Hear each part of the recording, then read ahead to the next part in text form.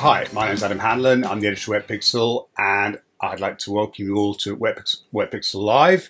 Um, we have our resident expert on all things underwater, Alex Mustard, alongside me. Hello, Alex. How are you? Hi, Adam. Good to be here. Nice to see you, as always.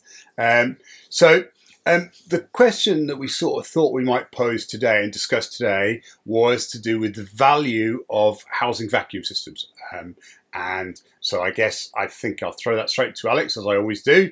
Pass it over to him um, to see what see what you think, what the value of, of, um, of vacuums is. Um, I think there's one one thing I would say to sum them up straight away is that they are addictive. um, whether they're you know absolutely essential or not um, is hard to maybe argue you know logically, but addictive they certainly are, and you get very reassured by having them on your camera. Yeah. Actually, on my, my last morning diving um, just this week, I I stupidly loaded my zoom lens at the wrong position, and I don't have a zoom gear on my 8 to 15, and it was just zoomed in slightly from 15.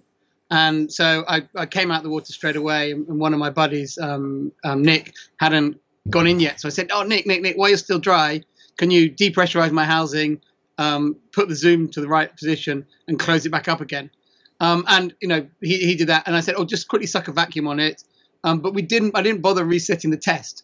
All that I cared about was that you could pull a vacuum. Mm. So uh, you know, yes, they are really valuable. Yes, I want my housing to have a vacuum when I go in the water, but I'm not someone who needs to watch the light all the way through the dive. And in fact, then the light was flashing red or dive, but I knew why it was doing so. Yeah. Because I'd, I'd depressurized it and I couldn't be bothered to open the back of the housing to reset it. I so I, I, guess we should, before we sort of discuss our views on them, we should sort of explain to those who maybe haven't experienced a vacuum on a housing what they are. Yeah. Um, and certainly, you know, they're not a new thing in underwater photography. The first person I saw using one was um, Peter Scoones, the legendary BBC cameraman, and on his very expensive cameras, even before HD, but, but the, the old TV cameras were very expensive. He used to always fit vacuum systems to his housings. Yep. Um. And they were all homemade housings. And, and to be honest, I don't think anyone had more floods than he did with all the experimental gear he was using. But he used to always have a vacuum. And his he used to always have a pump. There was always this electric pump that he plugged in, and that would suck the vacuum in the housing um, before he dived. Yep. Um, and but they didn't really proliferate on underwater housings Hugyfot started introducing them about 15 years ago. I think Gates had them before that with the video okay. houses, big video houses. Yeah. But but yeah, I mean, 15, 20 years. Yeah, yeah. And then I don't. And then it was actually there was probably this period for about four or five years where I remember, you know, on WetPixel, we'd often have Hugyfot members going, "Why doesn't anyone else have these vacuums? We love them." Did, yeah. yeah, And yeah, the, the, the cynical amongst us said, "Well, actually, the problem is, is that maybe maybe some housings had a locking mechanism that actually didn't work after one dive, and um, and they needed a vacuum system to, to keep the locking system working. Possibly. But anyway, that's that's that's pure conjecture, of course. Yeah. But um, but about you know within I would say the last five to ten years they've begun to proliferate a lot more, and certainly five years ago the odd person had them. Now everybody has Everybody's got one. Yeah, yeah, yeah. It's, it, and it must be the I, most I sold you, accessory. Yeah, yeah, yeah. Yeah, you, you've said to me many times, you know, they're there to check you've put your housing together. Yeah. They're not there, you know, to to to do anything more than that. Um, I do think they have a couple of small benefits uh, um, ab- above that. One is I think they, they do hold housings together.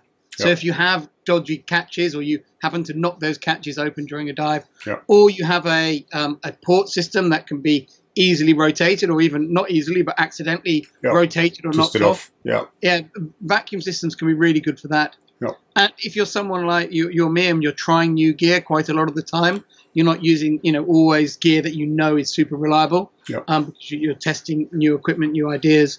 Um, actually, having a vacuum system is really reassuring when you're maybe putting together rather unusual setups on your kit system. Yeah. So I think they have really good advantages like that. Um, and something that I learned on one of our WetPixel Lembeh workshops was Lembeh, when you you know used to do dive there, you'd always get a lot of sand in your O-rings. Yeah. And one thing, and, and so you were always kind of cleaning your O-rings after every dive. Yeah. And one thing that Black I really sand. noticed that when everyone suddenly went over to having vacuums on their housing, is suddenly the O-rings would come out of the water clean Yeah. because the, the housing would be compressed before it went in the water, and it kept the housing, the two halves of the housing pulled tightly together, Yeah. and that stopped sand going in, and you didn't have that same problem of having to clean the O-rings all the time. Yeah. But the main advantage of them is that it gives you that reassurance, particularly pre-dive, that everything is together and you're ready to go.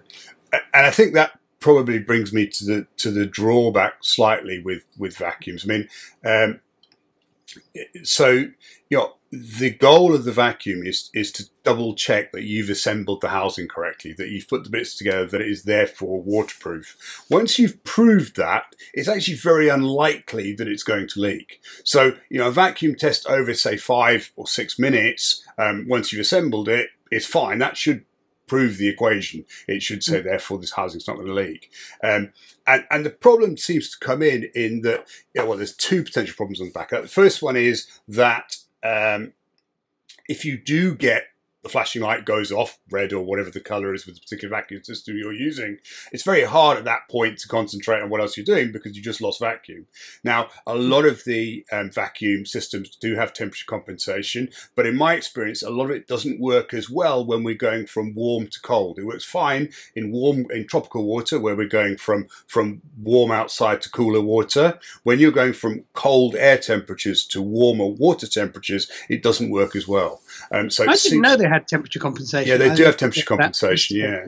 Um, so, so, um, but I have had them giving false positives. Now, okay, you say, well, that's that's arguably more conservative. It's doing a better job of looking after me. It's giving me a false positive. But that's not always the case. You know, if you're on assignment somewhere and you're trying to catch catch particular images, and the camera's busy telling you, look, I'm about to flood, and you have to get out in the water, that's a big deal. That's you know, that's actually a, a problem. Um, so, Mm. so the first problem is the risk of false positives, and and and, and as I say, with if, if as long as it holds vacuum for five or six minutes once it's once it's once it's been made, that's for me. I've, I've put it together right. That's fine. After Mm. that, I don't really need it to give me any more information. So I So could you're ignore kind it. of more a fan of one which maybe has a you know a, a light or a va- um, a gauge, so that you plug it into the housing, you, you pull your vacuum, Yeah. you go back five minutes later, check it, Yeah. and then you don't have any Yeah. distracting feedback during the dive. So, so Backscatter do one that, that, that works like that, and the CCAM one is the same. It's an electronic version where it, it, it tests over a period of time and then says, right after five minutes or whatever the period is, you know, you're good to go.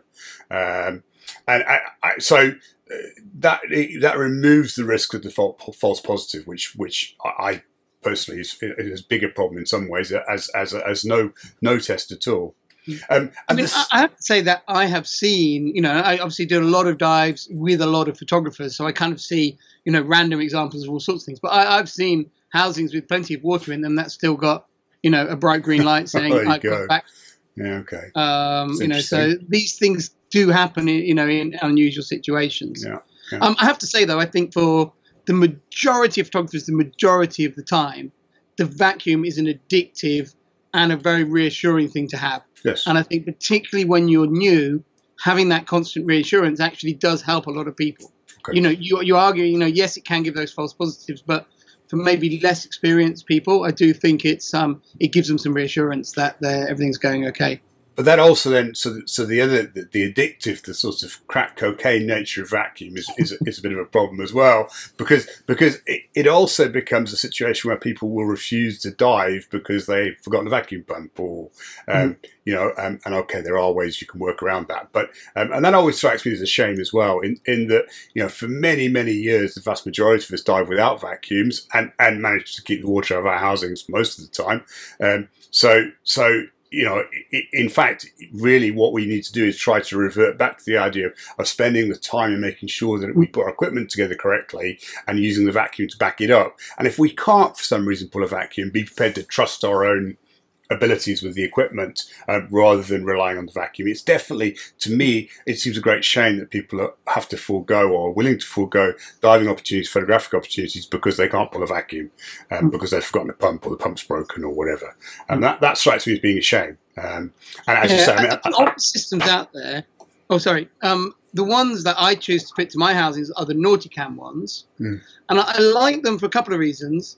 First of all, you know, in extremis, you don't need a pump or any equipment. You can depressurize the housing and pressurize it again uh, um, um, orally. Um, I, I was hoping that was a more delicate way of saying it. It probably isn't. Um, but yeah, so and but I think that's a really valuable thing. If you're out on a boat, you don't have the gear. Yeah. The good thing with the, with the Nauticam system that I like is I can I can depressurize my housing, get in and fix something, Yeah. and I can pressurize it up even if I haven't got the gear with me. Yeah. Um, I think uh, nearly all of the systems, if you actually forget the cap that goes on the vacuum thing, they point, don't yeah. they still um, don't leak. I've done quite a lot of dives like that. Not usually no or always noticing obviously halfway through or occasionally right at the end of the dive Yeah. if you do do that, certainly with the system I use, the Nauticam one, which I'm familiar with, it's well worth giving it a good wash that top area with fresh water afterwards. Yeah. Um, before you let the air um, back in, and then dry it as well. And that's one of the few times I will use a bit of air, compressed air from an air gun or something, because the air, if you if it's got water around that valve and you start depressurizing the housing, it sucks in and blows that a spray of water over the housing. Yeah. So in that case, I want to make sure that's very dry before I open the housing. Yeah. So if I have dived with the cap off, I'll give it a good wash. But it's it's absolutely fine to dive it with the cap off. But don't on the dive start pressing the button. Yeah, I think uh, two things. Yeah, if you press the button, the water will go in. So be very Yeah, even so- bumping it would be a nightmare. And it'll be sucked in, yeah, Yeah. extra fast. Yeah, yeah, no, not not a good idea. And the second the second thing about it is there is a depth limit on them as well. Um, in at some point, I believe that the, the spring tension that holds the the little vacuum button open will at some point be overcome and water will come in. So so Okay, I think with a cap on though, they'd be okay. oh, with a cap Uh, on's but fine. yeah, Yeah, yeah, yeah. yeah. no, it's Yeah, it's, it's not- it's without the cap. If you just got the button exposed, Mm. it, it, it- there is a depth limit. So be aware If, if you have those ones, I forget the name of the, the valve. It's the valve that you also get that press that they use to pressurize fridges and things. It's that metal one. I used to uh, have some Swage like lock. Yeah, the inside. If you if you've got one of those and you need to open your housing in an emergency and you don't have the correct pump with you, Yeah. if you actually have a sharp end of a, a point and you push it in there and push the metal then inside the circle, it's kind of a metal bar that goes across. If you push that metal bar with a thing, it will depressurize the housing. Yeah, yeah. So if you have one of those and you're stuck on the boat and you need to get in the housing, Yeah. you know, then depressurize it, and you know, and then you can dive the housing without it being pressurized afterwards. Yeah. If you need it, you know, if you left your lens cap on or forgotten the battery or, or whatever it is. Um, so that's a useful tip that they aren't locked forever. Yes, no, absolutely. It's- It's worth mentioning, obviously, that um, the the, um, the crucial ingredient of, of, of every underwater photographer is they should always have a picture on their memory card before the dive that shows that everything's working. Always. Um, Absolutely, always. Yeah, yeah, yeah. That's why. That's why I, I don't know about any of these ways of getting into housing. When I'm soaking wet, and yeah, yeah. Pick Now the, the one this week actually jumping in with my fisheye zoomed to the wrong position was very, very annoying. yeah, Um.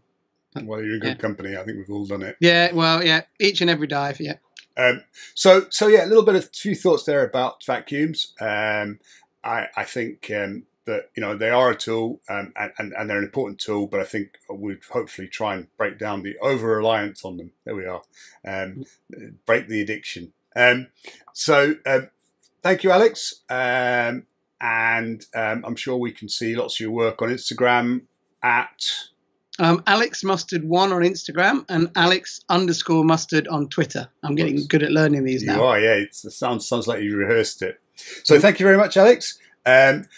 Thanks very much to Chris at Lembeh Resort who sponsored this episode. Um, please give this episode a like if you enjoyed it. Um, you found it useful, and feel free to add comments below to discuss anything else about vacuums um, in this, the comment section on the video. Thank you very much. I look forward to seeing you again soon.